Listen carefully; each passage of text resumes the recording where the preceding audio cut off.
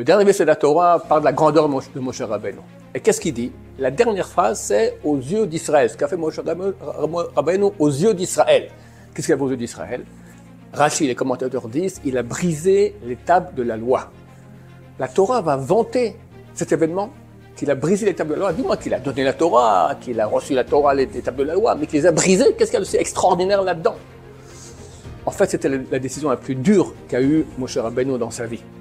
Il a sorti le, peuple d'Égypte, il a fait des miracles, on a Mont Sinaï, le don de la Torah. Après, il monte 40 jours sans boire, sans manger, comme un ange. Il reçoit les tables de la loi. Et après une grande bagarre, les anges n'étaient pas d'accord dans le ciel. Pour finir, il a vaincu. Il descend, il voit le veau d'or. Il dit Qu'est-ce que je fais Qu'est-ce que je fais? Je garde ou je, brise? Il n'a même pas demandé à Dieu. Pour finir, il brise. Et la Torah raconte que Dieu a dit T'as bien fait. Et c'est de ça qu'on parle dans le dernier verset de Moshe. C'est le plus grand acte que tu as fait dans ta vie. Pourquoi? La réponse est très simple. On ne peut pas allier le mal et le bien. La Torah, c'est le bien. Le veau d'or, c'est le mal. Ensemble, ça marche pas.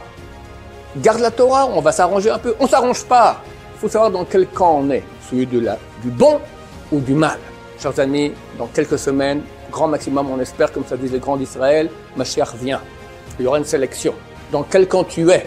Tu es du bien ou du mal? Il n'y a pas moitié-moitié. C'est fini. Moshe Rabbeinu a brisé les lois pour qu'il n'y ait pas un moitié-moitié. Donc il faut décider. Eh bien, il faut décider le bien à fond, à fond de à fond.